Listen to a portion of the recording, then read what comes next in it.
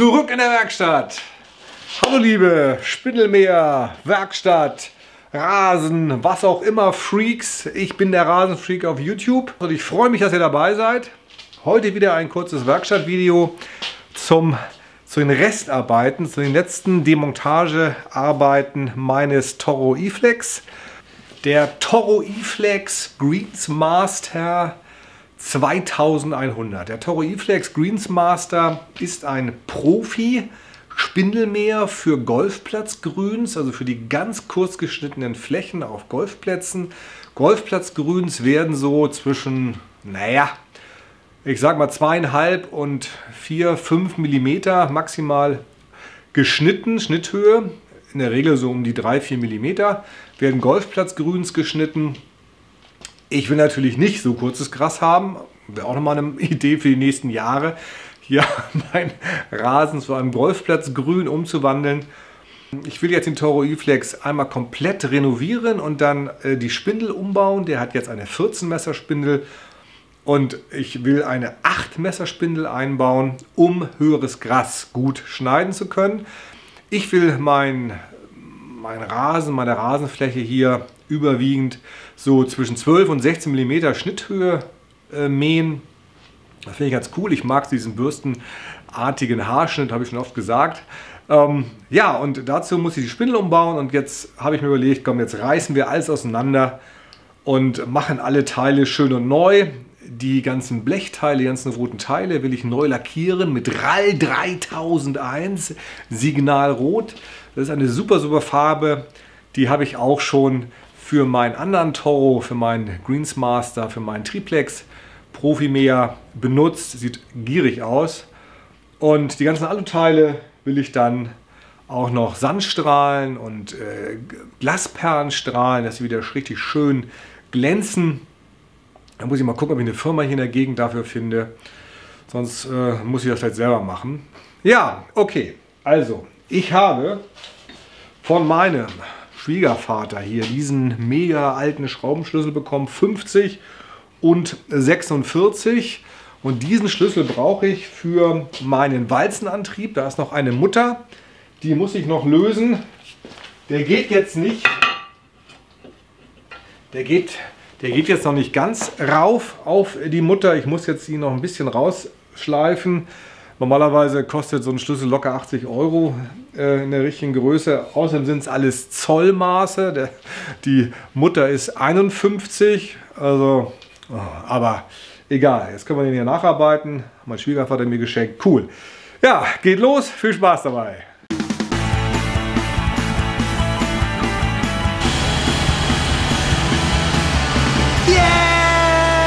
Ja, wir haben hier also jetzt unsere unsere Walze. Oh, die ist von innen noch total dreckig. Jetzt muss ich hier diese Mutter lösen. Oh, ist die kalt. Handschuhe. Eiskalt. Das wird geil. Eiskalt. Und jetzt muss ich ein ganz bisschen hier diesen Schlüssel, ist aber wirklich nicht viel, von wegen, muss ich gar nicht, nicht vermessen. Der passt. Na. So ein Ding. Und jetzt muss ich diese Schraube lösen. Jetzt sagt mir muss man, wie ich jetzt diese Schraube lösen soll. Mit dem Schlag. Macht hier mal ein ganz bisschen sauber. Ganz, ganz.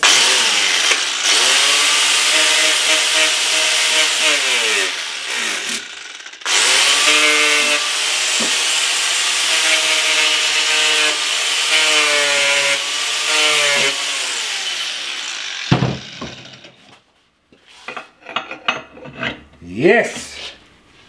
Wunderbar. So, jetzt muss ich BAM! Hammer raufhauen. Das ist ja hoffentlich. Ich kann irgendwie nicht gegenhalten.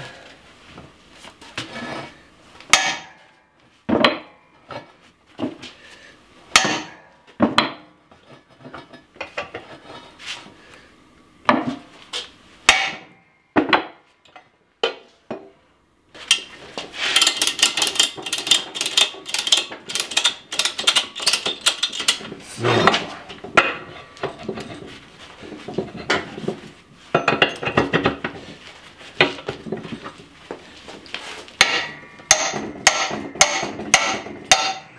Yeah!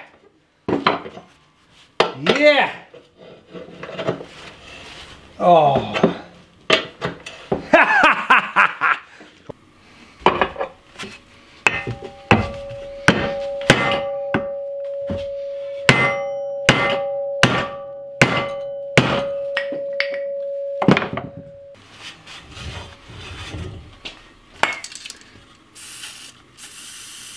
Tja, das sieht nicht gut aus. Da ist Feuchtigkeit reingelaufen, es ist fest korrodiert. Das sieht nicht gut aus.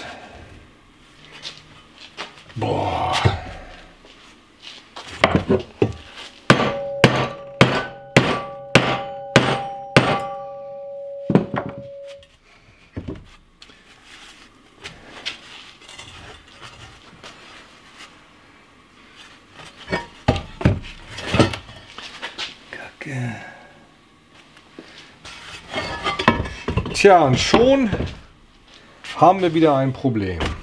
Und zwar ein richtiges Problem. Der ist darauf gesteckt und festgerostet.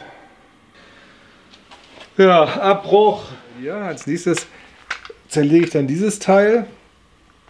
Und da schauen wir da mal rein, was wir da noch so an Unglaublichkeiten entdecken.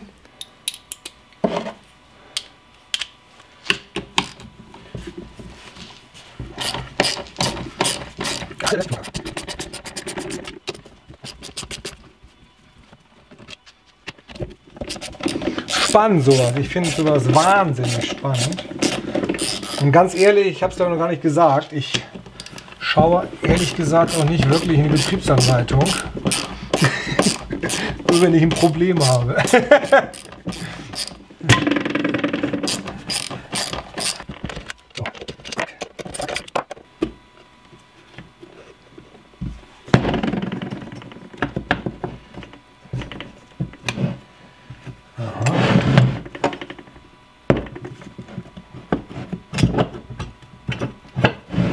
Ist eine Dichtung. Jetzt habe ich mich doch entschieden, hier diese Welle rauszuhauen. Alles andere ging nicht. Da ist sie. Völlig verrostet. das ist echt nicht wahr. Und jetzt hoffe ich mal, dass ich jetzt die auseinanderkriege. Das hoffe ich jetzt sehr, dass sie jetzt auseinanderfällt.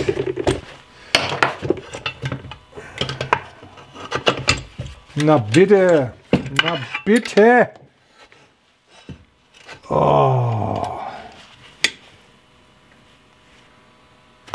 Made in Mexico. Okay. Made in Mexico.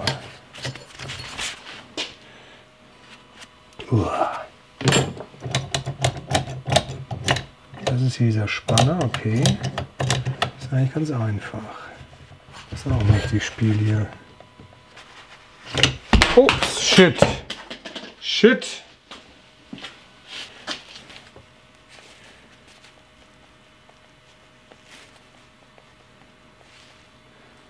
Okay. So. Rausgefallen. Aus dem Lagersitz. Ja, lieber Rasenfreaks. Ich habe zwei Probleme bei der Zerlegung meines E-Flex-Antriebes ähm, ja, verursacht. Eins zeige ich euch mal. Dies hier, das ist die Kupplung zum Ein- und Auskuppeln der Spindel. Das ist so eine, so eine Kupplung, die kann man hin und her schieben. Dann gibt es so einen Schieber. Papp, papp, papp, papp, papp. Und der schiebt immer die Kupplung rein und raus. Und auf dieser Kupplung läuft der Zahnriemen. Klar, ne, der Zahnriemen. Der Zahnriemen, der muss diese Kupplung antreiben. Und mir ist leider das Teil runtergefallen, da es leider von der Seitenwand was rausgebrochen.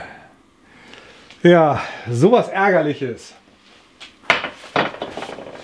Ja, das zweite Problem ist, das ist aber jetzt nicht mein Fehler, sondern das ist leider echt ein Drama.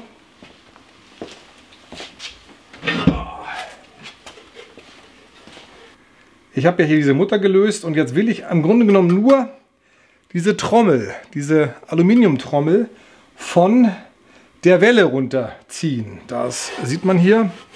Da sind hier die Aufnahmen für einen Keil. Und das Ganze ist aber total fest korrigiert. Und das steckt also bestimmt, das steckt bestimmt so auf so einer Länge in der Trommel drin. Und das ist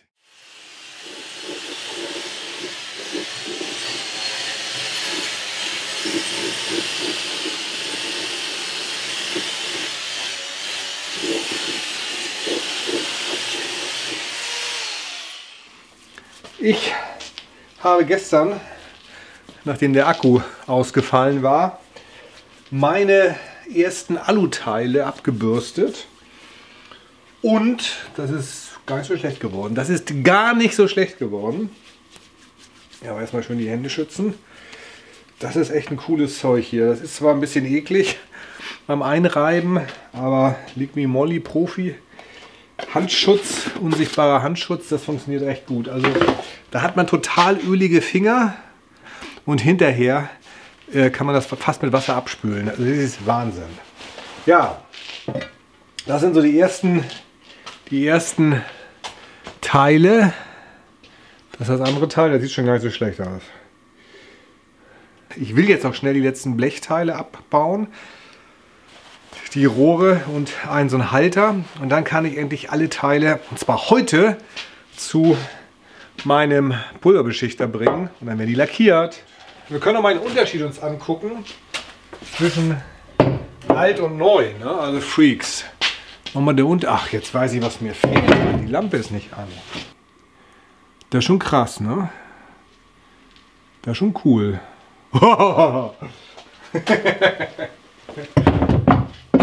So. Oh, das ist alles kalt. Oh, Heizung. Ah, ah, ah. Heute will ich ähm, noch die letzten Blechteile von meinem Meer abschrauben. Da hängt jetzt die Elektronik dran. Aber ich möchte jetzt alle Teile auf einmal zum Beschichter bringen. Und dann werden die pulverbeschichtet. RAL 3001. So, das machen wir jetzt. Nehmen wir hier vorsichtig ab. Gleich weg. Also das ist hier die Schalleinheit.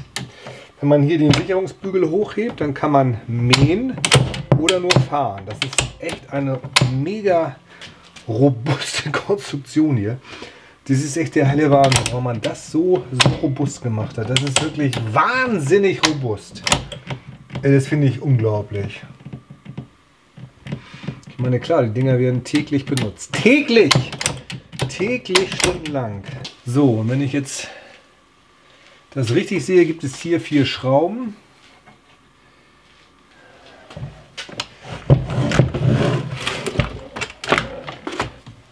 Da, genau. Vorsichtig. Jetzt schrauben wir hier erstmal die unteren Schrauben ab. Ja, gegenhalten.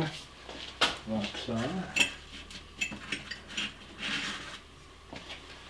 Eineinhalb. Nee, zu groß.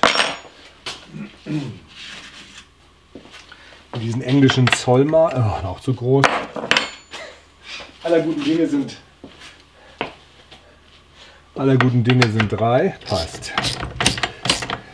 Dann kann man die ganze Einheit wegnehmen. Das ist schön.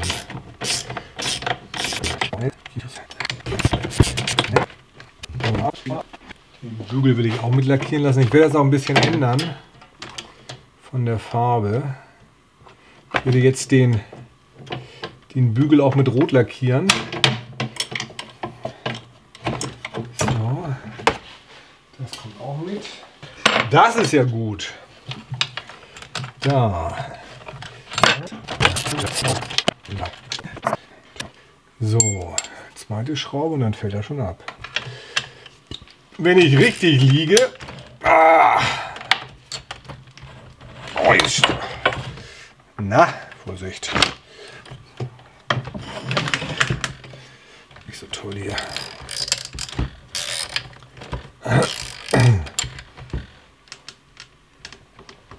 Oh, was soll das denn jetzt? Ja, die war fest. Ah, löst sich komplett, er löst sich komplett, er löst sich komplett, er löst sich komplett. Er löst sich komplett. Mann, ist das kalt. Heiz doch mal ein bisschen mehr hier. Ah. Zack mit der neuen. Zack, raus damit. So, und jetzt können wir diese Einheit hier. Feder raus. Cool. Jetzt löse ich hier erstmal vorsichtig die ganzen Kabelbinder. Mal gucken, da ist einer, der den ganzen Kabelstrang am Träger hält. Genau. Haben wir noch einen.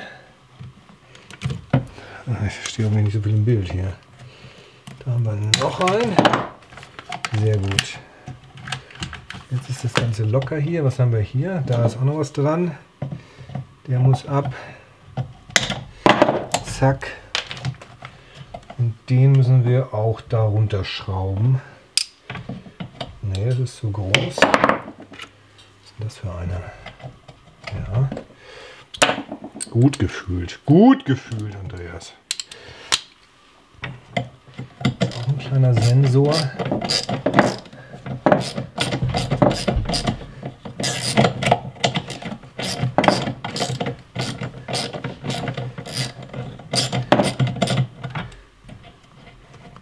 Ich will diesen Rohrrahmen runter haben. Gut, das ist locker. Jetzt kann ich den hier abschrauben. Die nächste Schraubengröße. Natürlich. Was haben wir jetzt hier?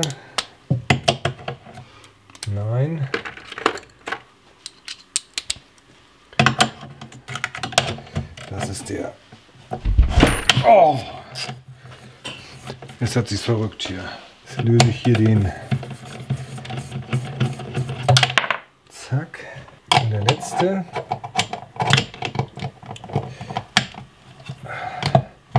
Und es geht nicht schief. Dann haben wir den ganzen Kabelstrang runter. Sehr gut. Das heißt, ich brauche... Ah! Krass.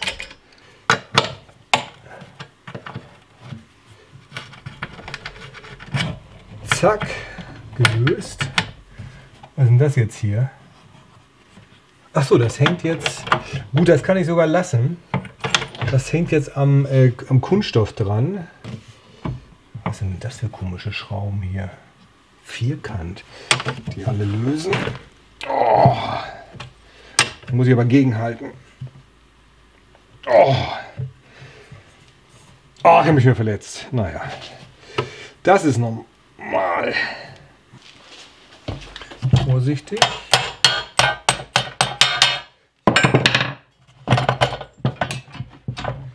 Ja! Yeah! Und wir haben das Teil. Cool. Oh, die beiden Schrauben. Sehr gut. Cool.